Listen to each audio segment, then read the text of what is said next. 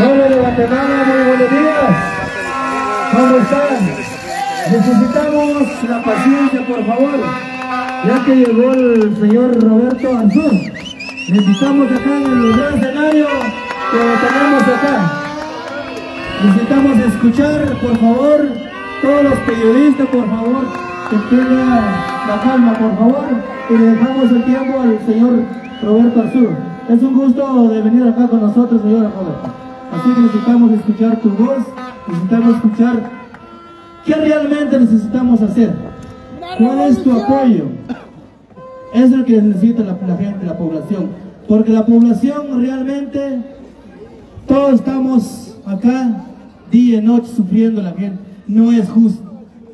La idea es de hacer una manifestación pacífico. Es lo que estamos ahora. ¿Así es, señor, o no? Necesitamos escuchar la palabra al señor Roberto Arzú. Así que tiempo para usted. Los amigos, comparte la transmisión. Muy buenos días. Yo escucho su voz.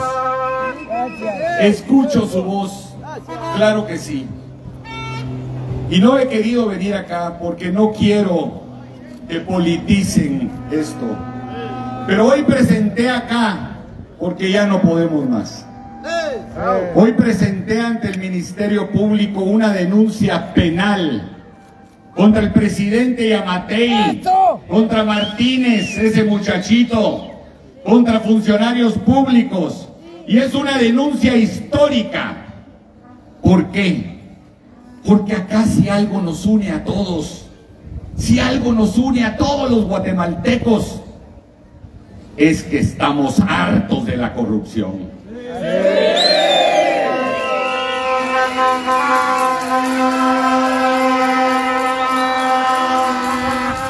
Estamos hartos de ver cada día más la desigualdad en Guatemala. Estamos hartos de que no podamos vivir en paz, en libertad, en democracia.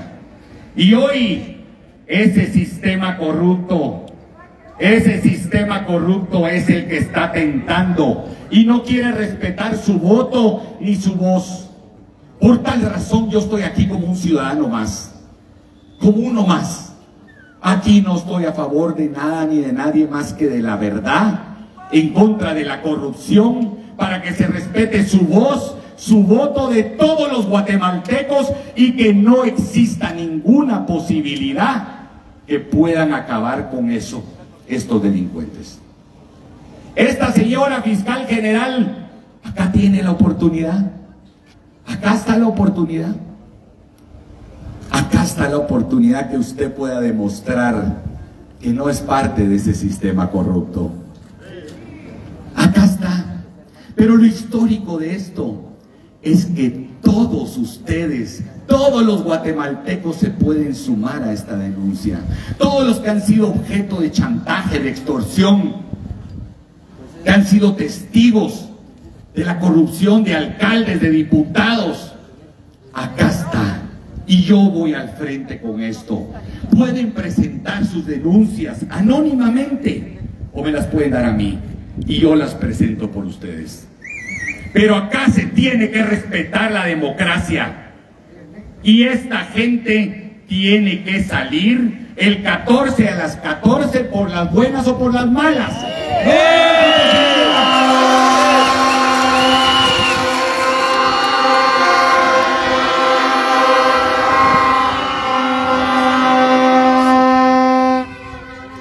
Pero entendamos quiénes son los verdaderos enemigos. No es entre nosotros los hermanos. No es. Ustedes están siendo ejemplares en manifestar acá. Así se hace sentir la voz. Manifestando pacíficamente. Que ustedes están siendo ejemplares en eso. Porque están gritando con su voz su desesperación de que no hay medicamentos en los hospitales, que las escuelas están cayendo a pedazos, que tienen que hacer ocho horas para llegar a sus casas por las carreteras que se caen en mil pedazos. Por eso es que tenemos que luchar todos, porque todos los guatemaltecos tenemos el mismo derecho y la misma oportunidad. Todos tenemos que tener ese mismo derecho. Yo he tenido la oportunidad de ir hasta cada rincón de Guatemala y a mí me cambió la vida. Y esa es la verdad. Ver la desigualdad en Guatemala es algo que a mí no me deja dormir. Y yo no tengo la obsesión de participar en política. Tengo la ilusión de que podamos ver una Guatemala, una Guatemala unida, una Guatemala próspera y una Guatemala en paz. Yo no iba a venir a hablar aquí con ustedes, lo pidieron que lo hiciera, porque no quiero que se malinterprete mi presencia acá. Porque mi presencia acá es para acabar un sistema corrupto que hoy tiene rodeado a los guatemaltecos y se quieren perpetuar en el poder. Y eso no lo vamos a permitir. Así me cueste la vida, yo estoy listo para defender la libertad y la democracia en Guatemala y que la voz de todos ustedes se respete. Y eso lo tenemos que hacer unidos. Muchas gracias.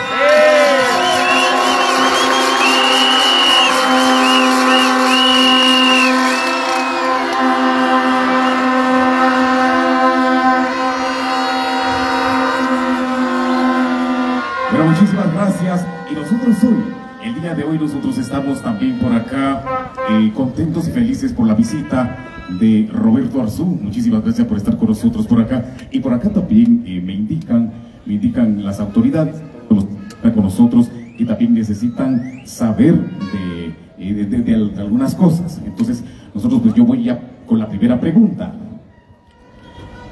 ¿De qué forma usted nos, nos puede ayudar a todos los pueblos indígenas y más que a los pueblos indígenas, a toda Guatemala? ¿De qué forma usted nos puede ayudar para que podamos lograr ese objetivo? Bueno, lo que dije ahorita, tenemos que unirnos, tenemos que estar unidos. Miren, ustedes y todo guatemalteco, todos tenemos el mismo DPI, del mismo color, del mismo tamaño, con la misma foto. Todos tenemos el mismo derecho. Y aquí, la semana entrante, escuchen bien, la, se- la semana entrante, ¿Así? La semana entrante quieren tratar de dar un golpe de Estado a la democracia. ¡Revolución! Quieren tratar de darle un golpe de Estado a la democracia. Ese va a ser el momento de la verdad. Y cuenten conmigo. No vamos a permitir que esta gente acabe con nuestra libertad, contra nuestra democracia y que no se respete el voto. Hay más de 100 mil guatemaltecos voluntarios que fueron a custodiar el voto de cada uno de nosotros. Fuimos libremente a votar, pero ahora este sistema corrupto, como no le salió el descalificarnos a nosotros ilegalmente y a otros candidatos, para ellos perpetuarse, como no le salió su plan, ahora quieren hacer algo que es históricamente increíble, terrible. Quieren dar un golpe de Estado. Y no lo podemos permitir.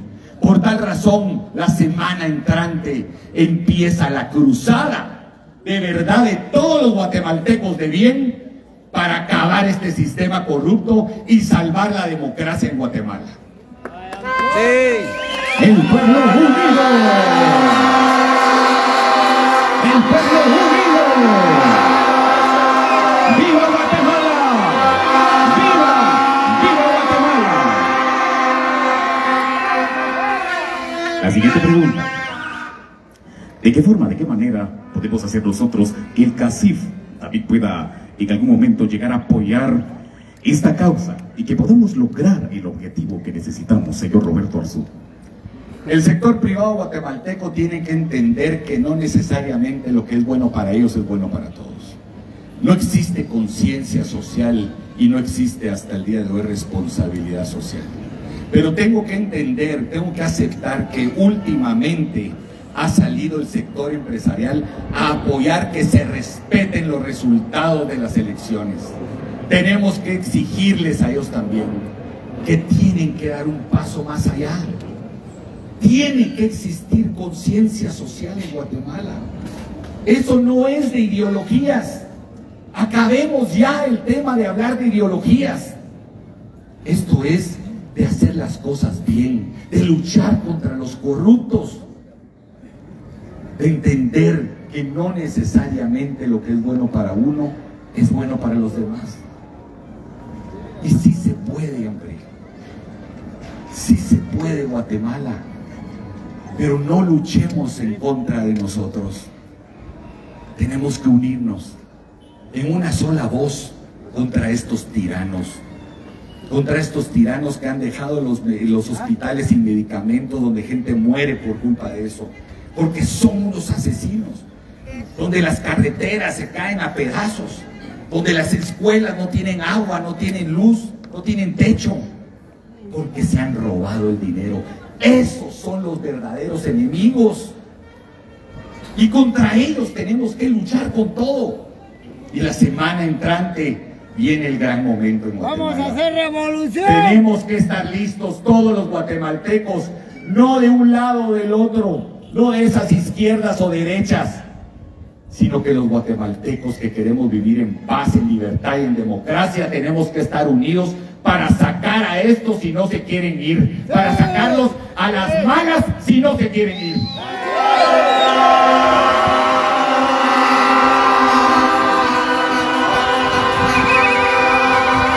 Quiero comentarles a todos.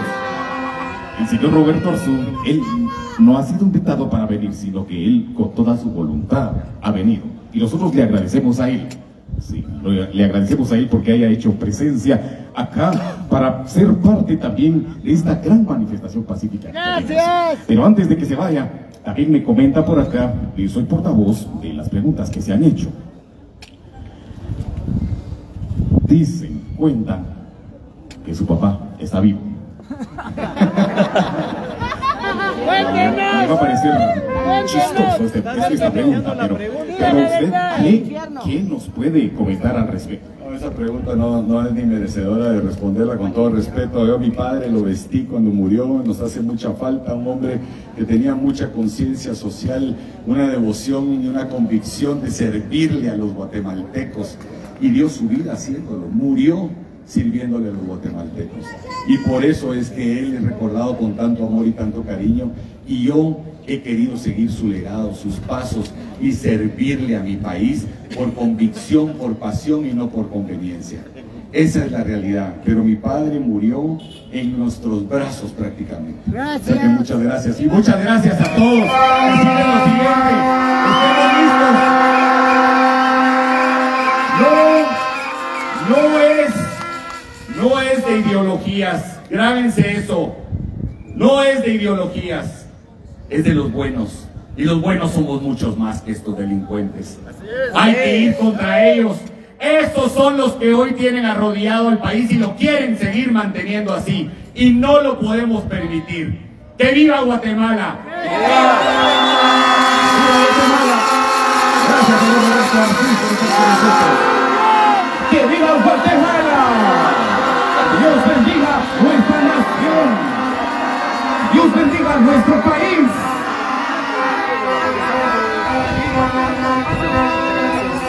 Verdad que queremos agradecer por la presencia del señor Roberto Arzú, que ha estado con nosotros algunos minutos y que también hemos conocido eh, su forma y su manera de pensar. Así que nosotros tenemos algunos minutos, algunos minutos ya para ir finalizando ya con esta actividad. Nos quedan aproximadamente unos 20 minutos para terminar antes de irnos a almorzar. Así es de que vamos a continuar por acá. Bueno, ah, bueno, súbase acá. Vamos a finalizar por acá. ¿De dónde es de la ciudad capital. Entonces, eh, usted va a continuar con lo que me estaba comentando. Muy bien, adelante entonces. Bueno, pues continuamos. porque Me interrumpieron, pero fue una, una intervención eh, buenísima la intervención de Mercedes. Que bueno, pues únicamente ya le él mismo lo que él nos dijo. Entonces preparémonos nosotros, porque si es así que ellos quieren un golpe, pues le vamos a echar la revolución, vamos a sacar a todos los corruptos.